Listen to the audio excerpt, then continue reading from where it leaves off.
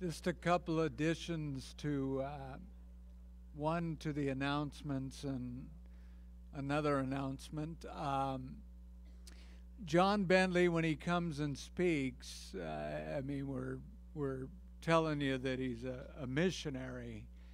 Um, he's going to come and share and shock you about faith. He's going to challenge you in your faith because he's a man of faith. Um, and uh, and he's going, you know, he's not just going to come and share about all the things that they're doing. Uh, he's going to share about, uh, you know, what the Lord is doing through their ministry and has done. I don't know exactly what he's going to share, but I know that he caused me to grow and has caused me to grow a lot in my Christian walk in faith, you know, because, uh, you know, um, he stepped out by faith to go to China with $5,000 in his bank account after being a lawyer up in Washington State, driving a Porsche and God said, drop it all and go be a missionary in China. And so he did. And when he ran out of the $5,000, he was still in China. And God started a ministry called Harmony Ministries out of that. And there was adoption for kids uh, that uh, were left for dead. Uh, kids that had uh, cleft palates, they would get money for them to get surgery for them. They just did a lot of outreach in China, and now the doors have closed there. But that's that's how he got going. He went all the way through law school by faith.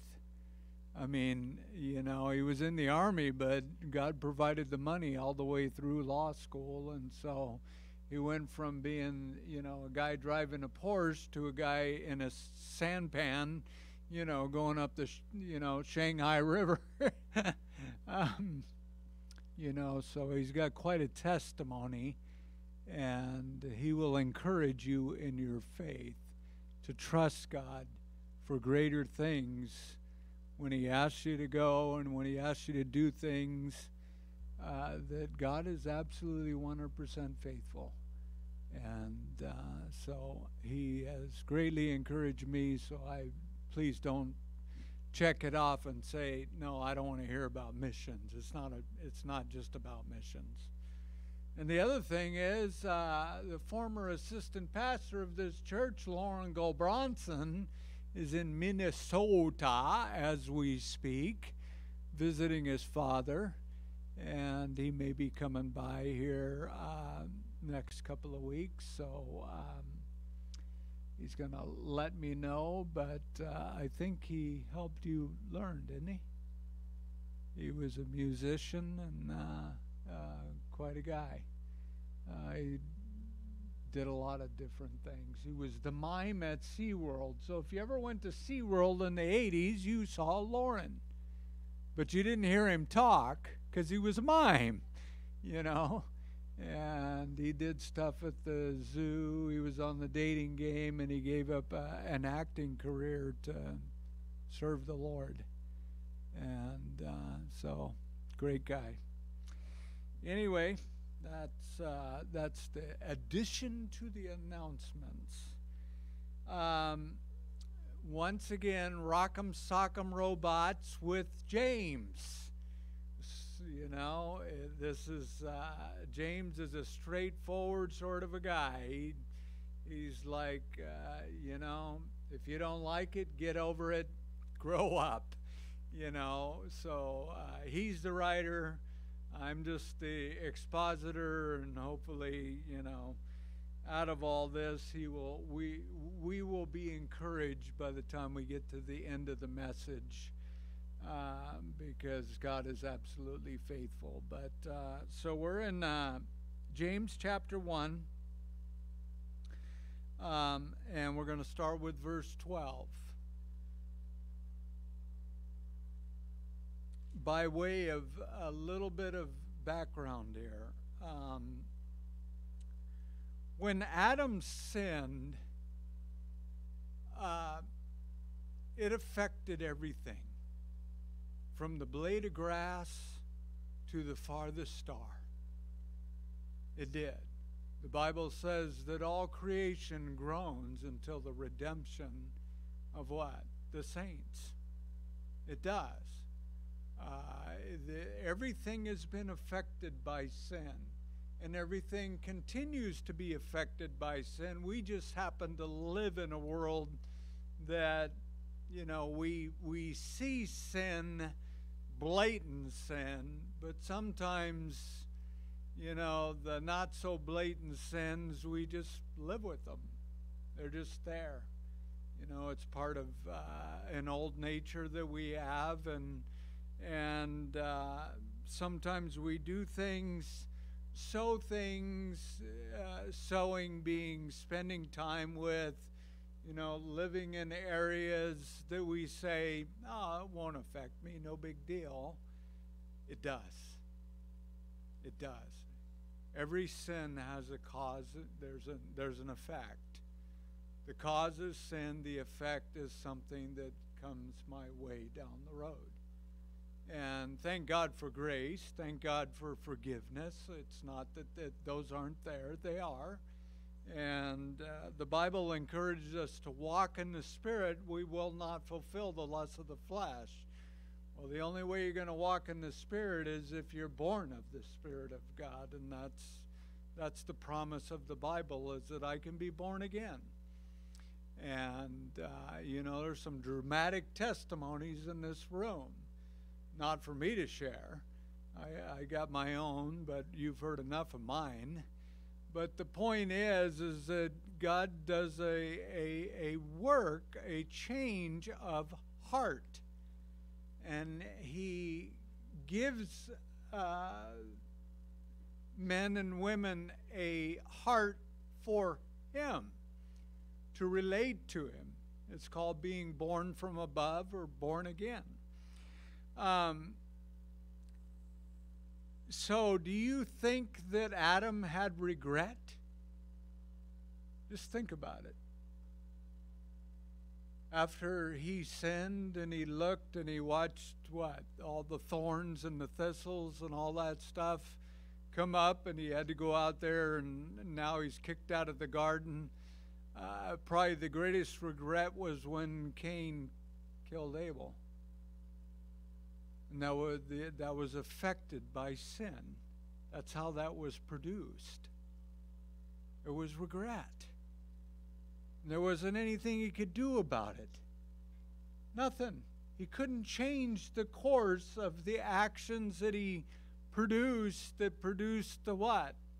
The fruit that he saw, the consequences that he saw. And in our own lives, just in a room with uh, you, there is enough consequences here. Most of us have suffered consequences because of choices. Well, that be before Christ and maybe some of it after Christ.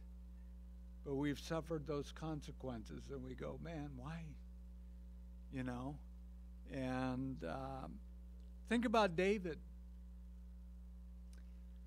David's on the rooftop. Innocent enough. It's his roof. It's a patio in Jerusalem, Israel. It's where their patios are. He goes out on his patio, and a couple houses below him is uh, another patio with a woman bathing. He had one or two choices at that point keep looking, or what? As it says in 2 Timothy 2:22, flee youthful lust, but pursue righteousness, faith, peace, and love with those who call on a pure heart. Uh, that means go get some fellowship somewhere, go get accountable, go do something other than stand there. Because if you stand there and keep looking, something's going to happen. And it ain't going to be good. But he blew all that off.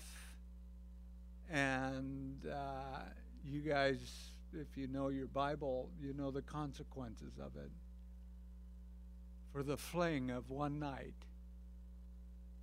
She gets pregnant. Then he tries to cover that sin.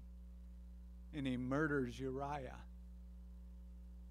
And then the consequences of that sin affected his own family, where his own sons are murdering each other. One of his sons rapes one of his daughters, his half sister. The consequences followed David most of the rest of his life. You think there was regret? Yeah, I think so. Samson. Samson played games. He thought he was covered under grace. I can do whatever I want. You know, I'm all powerful. I'm Samson. I don't need a girl from Israel. I can go over to the Philistine girls. They look much finer, and I like the clothes that they wear. And there's Delilah. And he played games, and he played games, and he played games. And he finally told her the secret of his power. Foolish man. His hair is cut off, and he thinks he's just going to stand up and throw the Philistines off. Well, guess what? His power was gone. He had played games one too many times.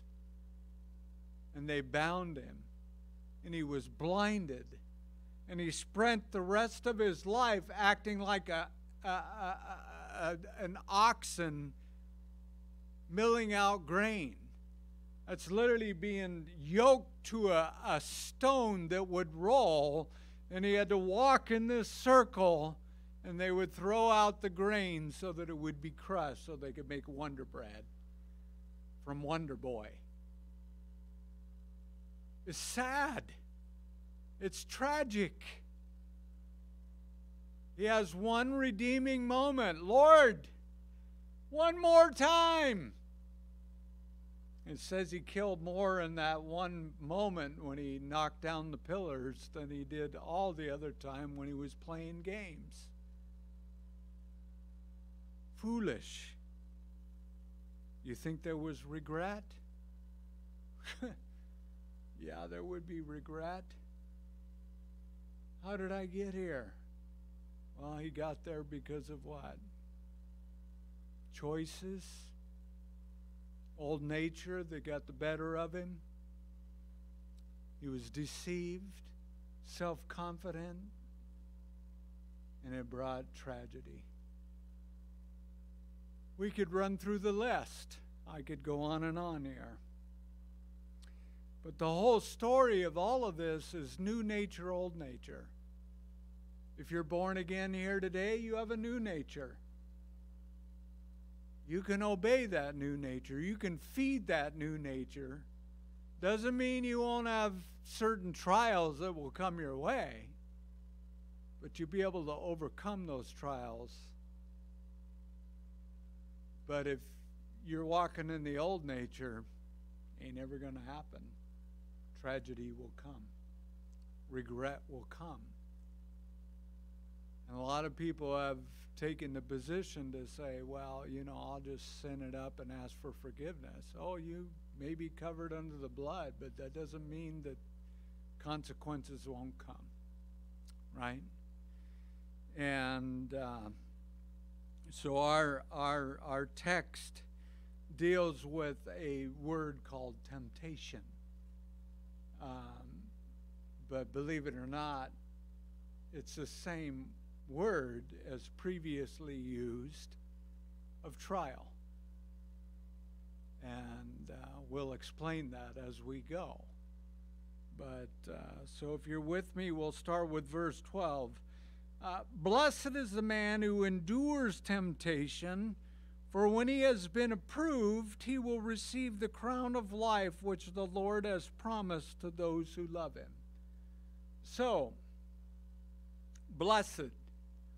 What does blessed mean? Oh, how happy to be envied. It's the same in the Beatitudes. Oh, how happy to be envied. so it's telling us, blessed is the man who endures temptation.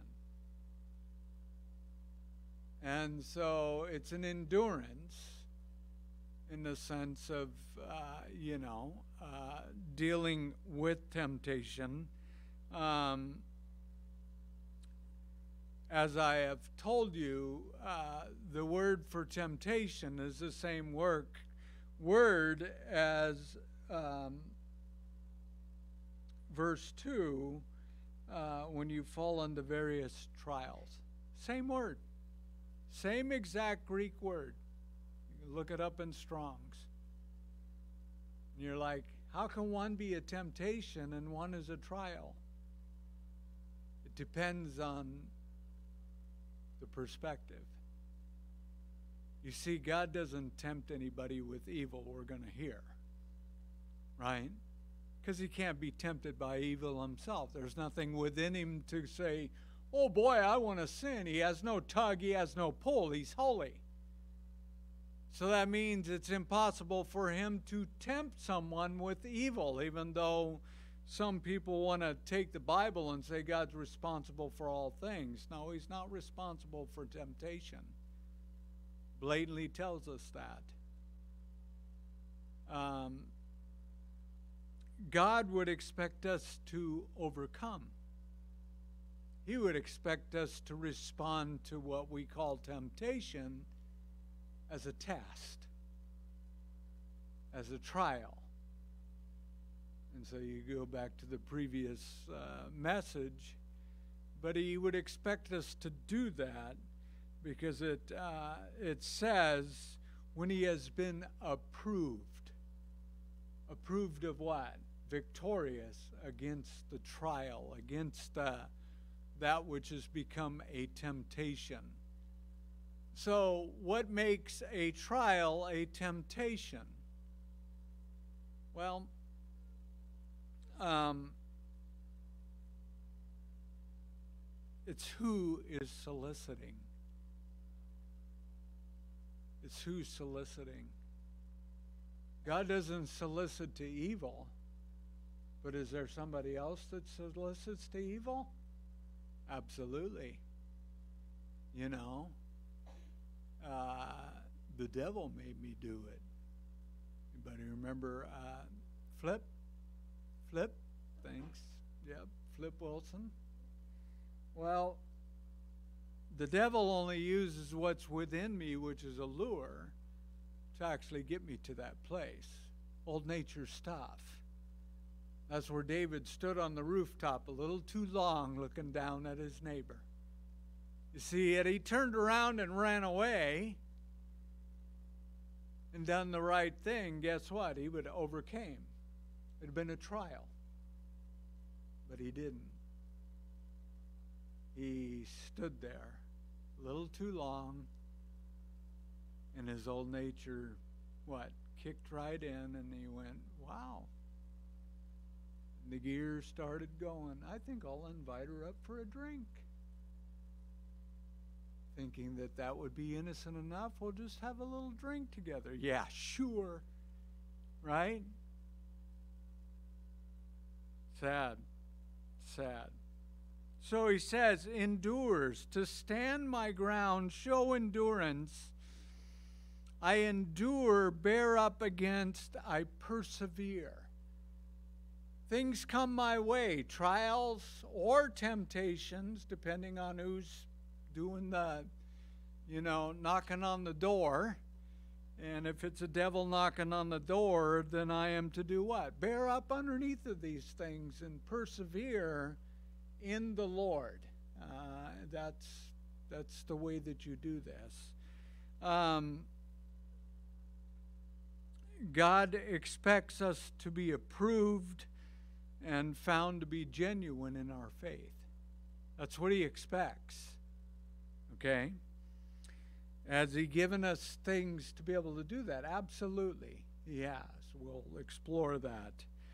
Um, it tells us right here, He says, um, He will receive the crown of life which the Lord has promised to those who love Him.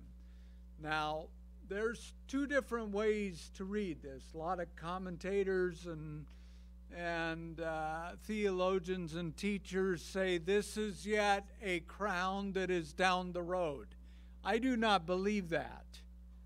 in fact, there's a, a, a man, Curtis Vaughan, in his Bible study commentary, uh, and I believe that, that the, the Word of God bears this out.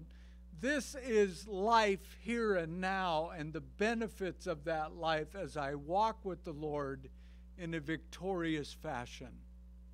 And you can find that in the Psalms, you can find that in the Old Testament, you can see that fulfilled in the Old Testament. David writes about it in the Psalms many times. And God writes about life. The whole intent of the law Old Testament, not that we're under it, but the whole intent of the law is that they would walk in it and they would be blessed. You could read Deuteronomy. Deuteronomy is full of, hey, I'll bless your kneading bowl. I'll bless your children. I'll bless your business. I'll bless all of these other different things if you just walk in my laws. And so, what is that? That's life. That's life that God wanted the children of Israel to have. It is the same life that He wants us to have, although we are under a different dispensation. We are not Jewish in the sense of under the law, nor does all of that apply to us, but at the same time, who here does not want to be blessed? I want to be blessed, right? And if I walk with the Lord and I overcome, will I not be blessed? I mean, I, there is such a thing as grace. We understand grace. But at the same time, there is a blessing that overtakes those who walk with the Lord and a humble walking in the Spirit and the greatest victory is what? I will not fulfill the lusts of the flesh, so I will not be continually sowing and reaping consequences in my life. And if you think that is the case, perish that thought. That's deception. God does not want you to sow to your flesh so you can constantly reap consequences from your flesh. Um, let me give you a, a, an example. Joseph being a prime example of a man who overcame, I believe, more than one temptation. Um, I'll just read you from 39, 7 through 9 of the book of Genesis. It came to pass after these things that his master's wife cast longing eyes on Joseph, and she said, Lie with me. But he refused and said to his master's wife, Look, my master does not know what is with me in the house. He has committed all that he has to my hand. There is no one greater in his house than I, nor has he kept back anything from me but you, because you are his wife. How then can I do this great wickedness and sin against God? And it's going to tell us guess what? That's how we overcome. If you love God, that's how you're going to overcome. If you don't love God, then you don't care. You're not going to be worried about it. Consequences will still come.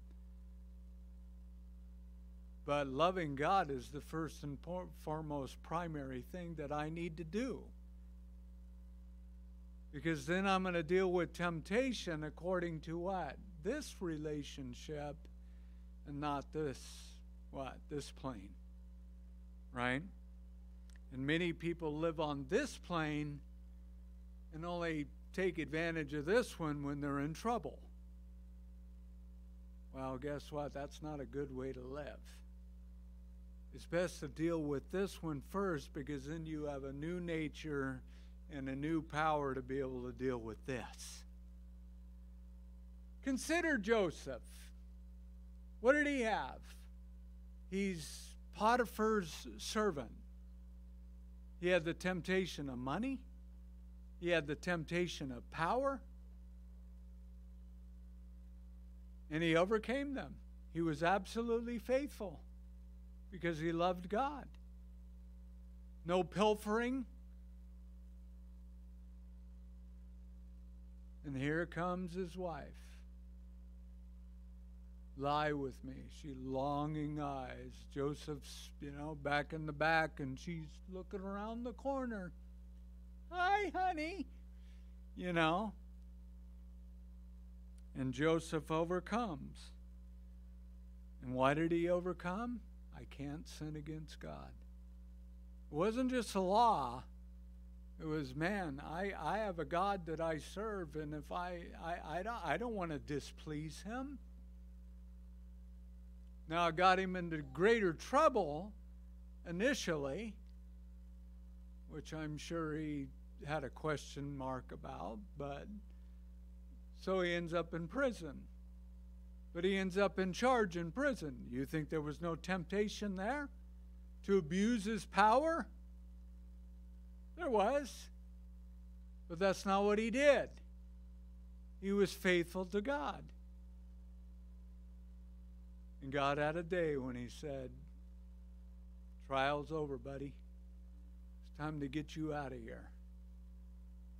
And so they took him from the prison to Pharaoh's presence to becoming, I don't know if you would call him the prime minister or whatever he was, but he was second only to Pharaoh. And then he had all the wealth and everything that he could possibly ever want, and he could abuse it as much as he wanted because he was what? He had Pharaoh's ring. And you would think that he would act on his brothers when they showed up and went, Boy, am I going to get them back. And it would seem that maybe he did, but he didn't. He needed to prove and find out where their hearts were. That's just the story of Joseph. But the, the truth of the matter is, is Joseph overcame so many and he persevered in all of that stuff. You think Satan wasn't there trying to trip him every step of the way? You think Satan didn't say, hey, you know what? He'll never miss that amount of money. You know, you can get that guy to do that, and you don't have to do it because, hey, you have the authority and the power. Nobody will ever know. Who would blame you? Right? Who would blame you? He loved God. He loved God, and so he would not do those things. And he is, he's, he's a, a was an absolutely 100% faithful man. So when he got to that high position, guess what? It was already built into him. It was already built in there. And we know the rest of the story when he says, What? You guys intended it for evil for me to be here. But God overruled, and He wanted it for good to save the whole family. He could finally see all the things, but he had to see it by faith long before he ever got there. And it's the same thing here. When you are tempted, you have to look by faith, and you cannot look by what? Sight and go, well, temporary, I can get away with it. I can just ask for forgiveness. Don't do it. Consequences are too heavy. They are. Regret will come. So he said, uh, the Lord has promised to those who love him. That's the bottom line. Why do I love God? Well, I'll tell you for me, because he loves me. Right? I'm the caboose, he's the engine. right?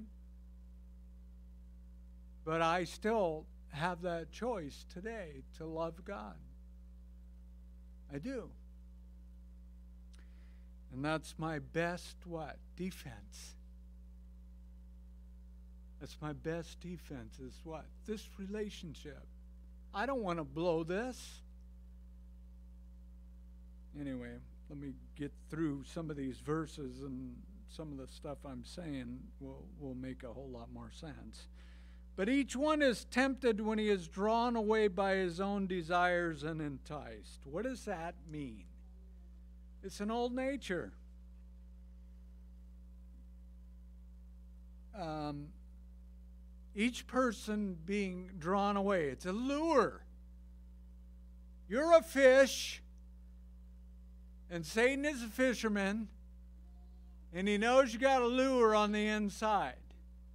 So he loves to get you in a place where this old nature, you know, gets a little shiner flashing back and forth, and then you have a choice. Right? Best to run away when, you know, the lure is just there and you're being tempted, but that's the whole idea is um, I have a lure because I have an old nature.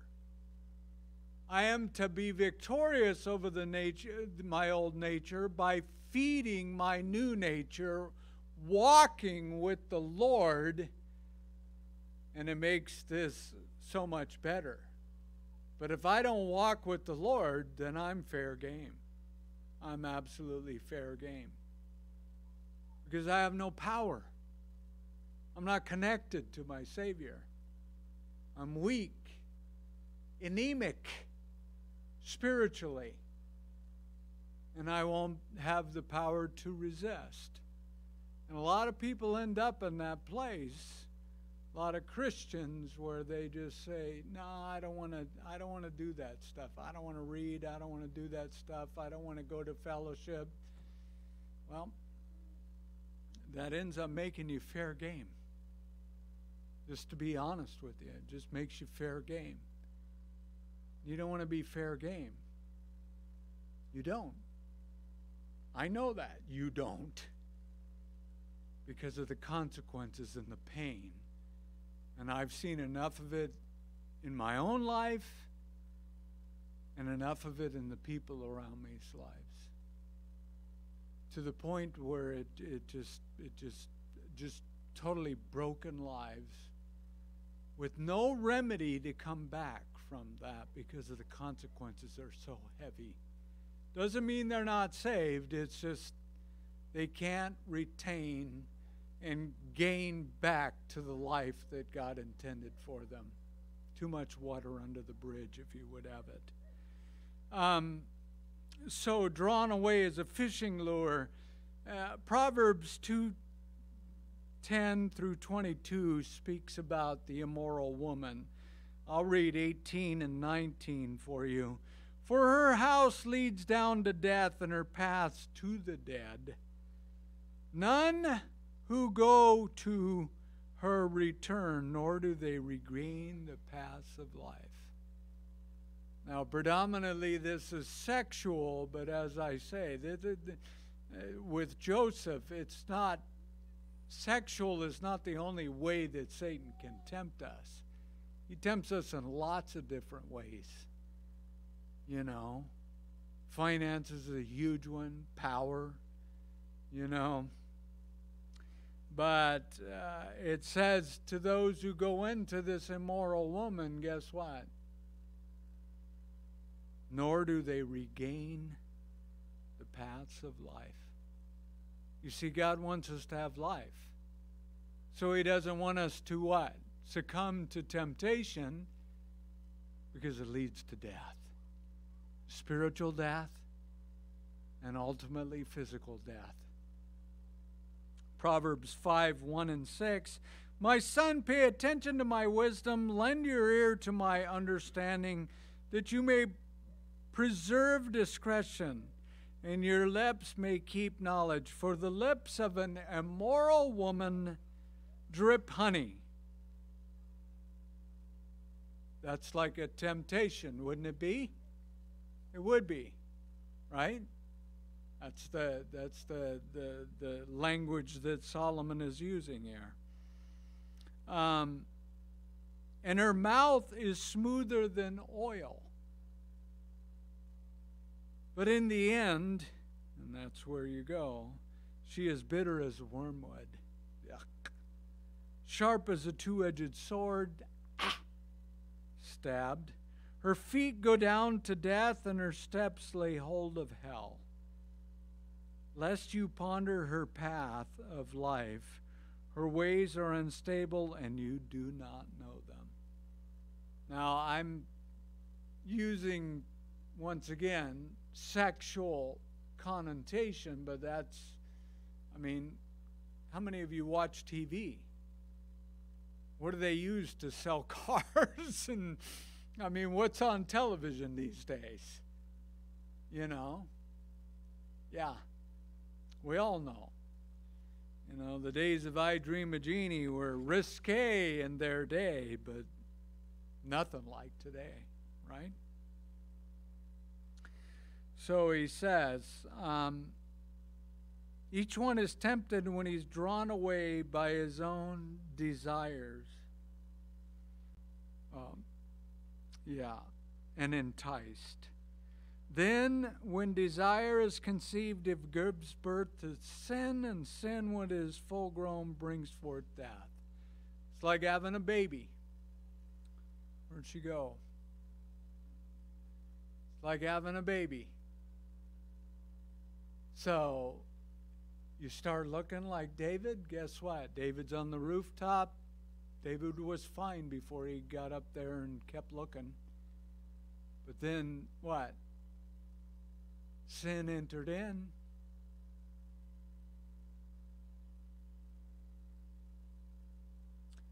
Uh, conceived desire, birth to sin, failure, missing the mark, death, spiritual and physical. And it brought death to his family. It did. It brought death to Uriah. It destroyed his kingdom nearly. He didn't plan on any of that. He didn't. He didn't plan on any of it. He, they, that wasn't that wasn't the deal. And so this is like what? You're birthing something, but it isn't good. And who's behind all of it? The unknown named guy here? It's Satan because he's the one that's there saying, This trial, this trial is a temptation. And every trial Satan will use as an opportunity for temptation. God is not good because you're in the middle of a trial. That's a big one. That's a huge one. You got to take matters into your own hand. Don't trust in the Lord. Uh, every trial, every relational trial that you have is an opportunity for what? Temptation. To repay someone in the same coin that they gave to you, right? Well, I'll just get you back with my own coins. I'm not supposed to do that. I'm supposed to let it go, right? lest I end up in the what? The warfare and the battle, and all of a sudden I create a big mess because I got in my old nature. You know, I had an experience. Uh, my son Ben will be here. I, yeah, next Sunday. And uh, when he was young, uh, I had to go to Jack in the Box for those of you who from the West, Jack in the Box, mystery meat tacos. Anyway, we were out shopping. I don't think there's really any meat in them, but that, that's what we call them. And I, I pulled into this Jack in the Box, and uh, I think we had the Astro van at the time. And I pulled in, and I pulled up and parked Well, my son opened the, the side door and got out, and I heard these tires squealing coming into the parking lot. So my hair went. I was, I was, and I come running around the corner, and there he was standing at the corner of the, the van. Thank God, and uh, and uh, I just looked at him. I didn't say anything. He didn't do anything wrong, but then I watched the car go by, young guys, and okay, so I'm riled. I'm ruffled. I'm not in a good disposition. I walk into Jack in the Box, and I'm standing there with my four year old, five year old son, and we're looking at the menu, and I'm figuring out how many tacos I want. I'll take 12, you know, 99 cents for two, you know, whatever. Um, and this guy, the same guy that squealed his tires, came into the parking lot like a banshee, walks right in front of me, and starts ordering. I'm already ruffled, I'm already riled, and I reached out my hand to grab him, and he turns around and he said, Don't touch me. And do you know what happened? At that moment, God overcame me. I just smiled at him and said, You're absolutely right. I shouldn't touch you. Go ahead and order. I said, I'm sorry. It was just the Holy Spirit just came on me because I was going to kill the guy in my old nature. And I, I'm, I'm a foreign, you know, I got a rough and tumble background. I, you know, but uh, so he ordered, and he left. So I thought. And then I ordered and I left, and by that time I'm holding my son's hand. and uh, I go out to the car. And this is how I know it was the Lord. The guy came walking over by himself, and he was with four people, and he asked for my forgiveness.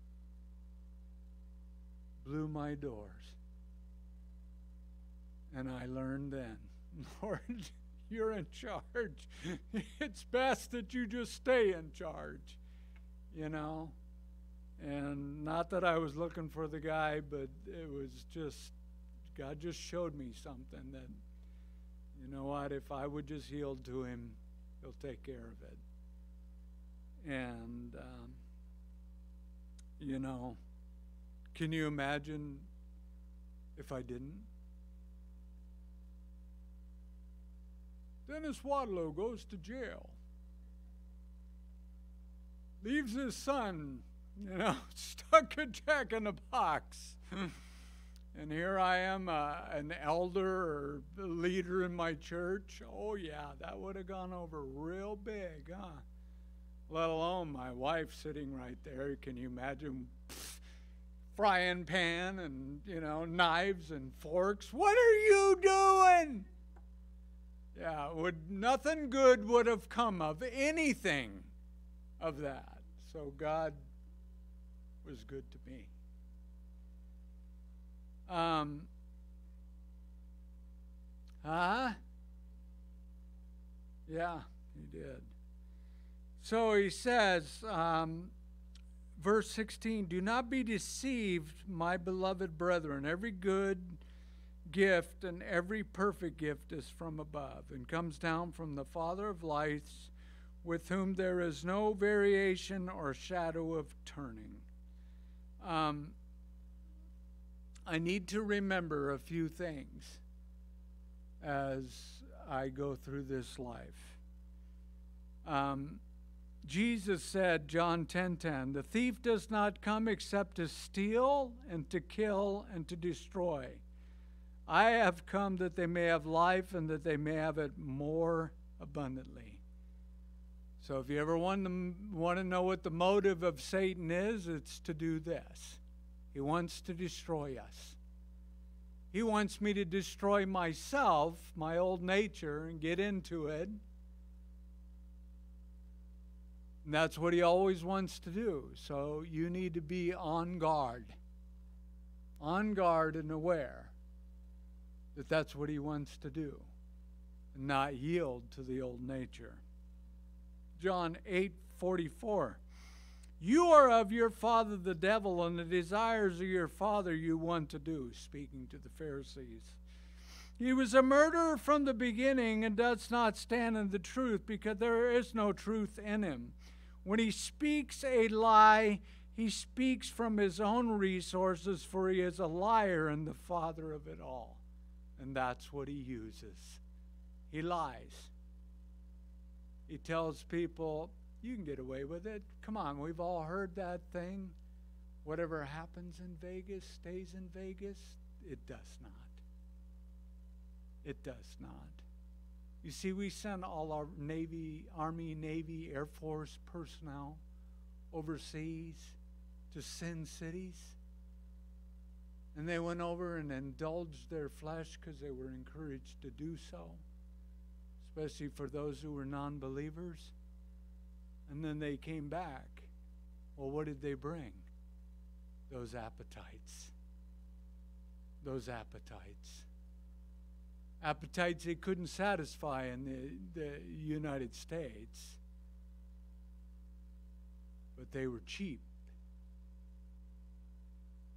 and they were exceedingly sinful. And once you sowed those seeds, you had to live with it and they carried a lot of those sins home. Sadly enough. Innocent, what? 18, 19, 20 year old young men? Go have a party, right? The liar. Satan's a liar. Absolutely. So, uh, did he lie to Eve? Absolutely. Did he lie to David? Oh, we don't see him in the picture, but he was there. He was there. Did he lie to Samson? Yeah. Samson deceived himself constantly. What about Solomon? Solomon's a different case in point, but he fell, he succumbed. He thought he was too wise. Hey, he was the wisest guy on planet Earth. A real wise guy. But he didn't use his own wisdom. He multiplied wives from what? Foreign countries. Built them temples for their other gods, which Israel never got freed from. Never.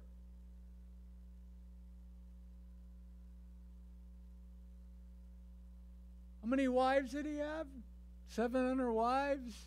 1,000 women? Multiple choice? I mean, the guy writes in Ecclesiastes about his life. He said, I didn't withhold anything that I wanted to do from myself. He was the ultimate sex, drugs, and rock and roll guy in his lifetime. And if God hadn't been gracious for him, I don't think we would be seeing him in heaven. But uh, he came to his senses. God was gracious with him at the end. But boy, the seeds that he sowed, he personally may not have reaped a bunch of consequences from them, although I believe that he did. Look at the consequences he brought to the nation consequences they never got out of. Even in the days of Hezekiah, years and years and years, and king and king and king after that, they're still on a hill opposite from Jerusalem. The Kidron Valley is there. There was still the temple for one of his pagan wives. It was still there at that time. They never got freed from the idolatry, which Manasseh took to the absolute extremes. And Solomon didn't help. He didn't help. So, um, so in verse 17, every good gift and every perfect gift is from above, comes down from the Father of lights, with whom there is no variation or shadow of turning. Um, the ultimate goodness of any gift must be measured on an eternal scale. If you don't have eternity settled, then church will do you no good. The whole idea is get eternity settled first. Have eternal life. Turn your life over to Jesus Christ. Then the rest of it starts fitting together. Yes, there's temptations. Yes, there's trials. But there's trials whether you're a believer or whether you're not.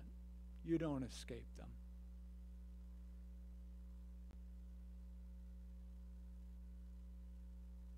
no shadow. The sun shines 724, so does God. The difference between the sun and God is one's created, but the sun has shadows that come in between, right? The earth turns, or you have an eclipse, right? But it's still shining. It's just shining behind the eclipse, right? And so the, the, the, the argument here, or the statement that he's making, is God is always shining. He's always shining. He has no variation or shadow of turning. He's not fickle. Today he's there, tomorrow he's mad. Excedrin PM. You know, wrong side of the bed, hangover. That's not God. That's not God at all. In verse 18, of his own um, free will, he brought us forth by the word of truth. So the word needs to be preached because it's the word of God that what the Holy Spirit's going to use to convict me and bring me to Jesus Christ. So the Word of God is, is extremely important that we might be a kind of first fruits of His creature. He brought us forth. He caused us to be born again. I didn't bring myself forth, He did. So there's another birth here.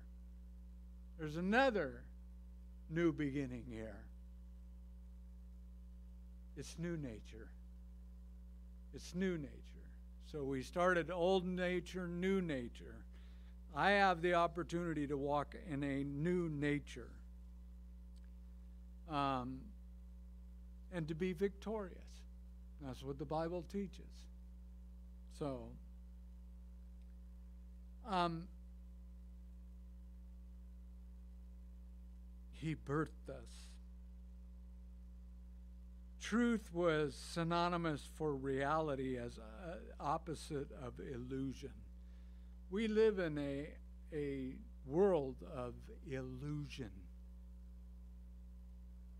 We do.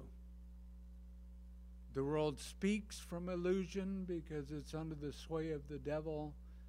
I mean, there's constant, you know, constant what we see, what we hear, what goes on is not truth. This is truth. This is truth. This is what you hold on to. So, first fruits, that's uh, a feast. A feast that we're ready to celebrate here next Sunday. We call it Resurrection Day. But it was a feast day for Israel. It always fell on a Sunday. Always did. It was designed like that. It's the 17th of Nisan. Not the, you know, not the Japanese car. But um, it's a new beginning.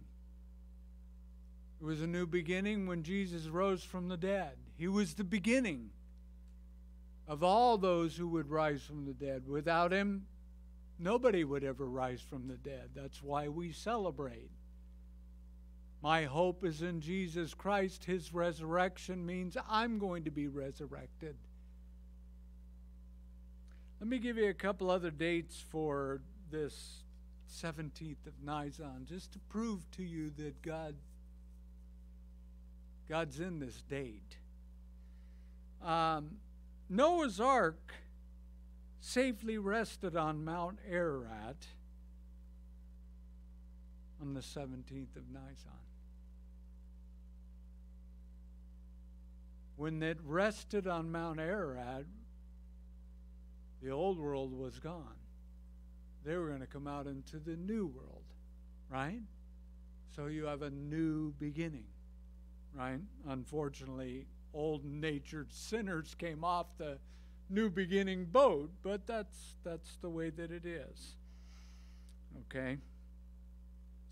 Uh, the Hebrews entered Egypt 430 years before the deliverance.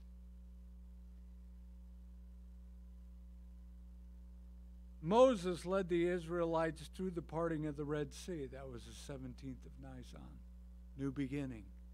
When they came up through the Red Sea, before that they were a bunch of slaves. When they came up on the other side, they were a nation. They were no longer slaves, they were set free. New beginning.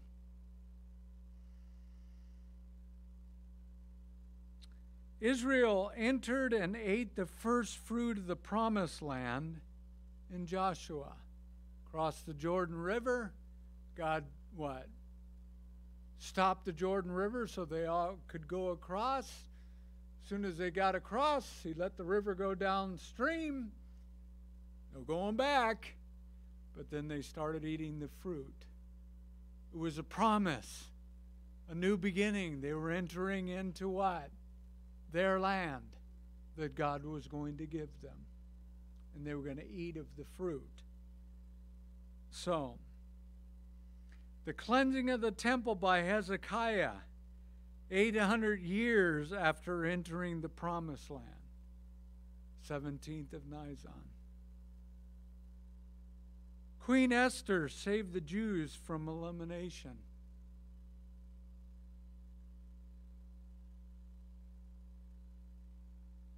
The resurrection of the Messiah. Those are all significant dates, significant events. You see, the Jews under Esther were going to be wiped out by um, Haman. You're supposed to go, ah! That's what a Jew would do. Haman, he had a warrant to kill them all. And the king gave it to him. But Esther stepped in. She thought she might die doing it, but she said, okay, if I die, I die. And she goes in and persuades the king. And the king allows her to write her own law. So she wrote a law that said, well, we can go wipe out our enemies before the date of them wiping us out. And so it took a little bit of time to get all that around to the Jews, but then once they got it to the Jews, the Jews ambushed uh, Haman, who was an Agagite, and that's another story that I better not go down. But they wiped out their enemies. They were spared because they could have killed all the Jews and all of the realm of Persia. They had that kind of authority. And so God, what? Spared them. Gave them a new beginning, if you would have it. So, some of you are sitting here today, and I, maybe you're religious, you're here, you know, go to church or or whatever. Uh, the Bible declares that uh, Jesus said this to the um, Nicodemus. He said, "You need to be born again." Nicodemus went, "That doesn't make any sense. I'm already a big guy. I'm to crawl back in my mother's womb." Well, it's not like that, Nicodemus. You need to be born of the Spirit, not born of the flesh. You can't climb back up in there, buddy. You know? Need to be born from above. That means God does something when I trust in Jesus Christ and the fact that He made the payment for me, that He's the Son of God, that He died, that He was buried, that He rose from the dead, that I would put my faith in His Good Friday, we will celebrate His crucifix, which was His atonement for my sins, His payment for my ransom your ransom. If you will trust him, then today could be your 17th of Nisan, your new beginning. There will be uh, a couple of men up front to pray for you. If you would like to commit your way to Jesus Christ, I would encourage you to come up. Pray with these men. They'll lead you in a prayer, they'll explain it to you. But you don't want to leave here without getting eternity settled between you and God. So please, consider well what you do this day. Lord, thanks for your word. Thanks for those who came to hear it. We ask and pray, God, bless those who are here. For those who know you, Lord, help us to be able to stand because we love you get the victory in Jesus Christ. And if anybody doesn't know you, I pray that they would be bold enough to put feet to their faith and actually come up and pray and confess Jesus Christ and receive you as their Savior. Lord, I, I, you're so gracious. You're so good. You're so kind. Lord, you're leaning right over them right now speaking to their hearts and saying, Come, come. So, Lord, bless us as we go out. In Jesus' name, amen.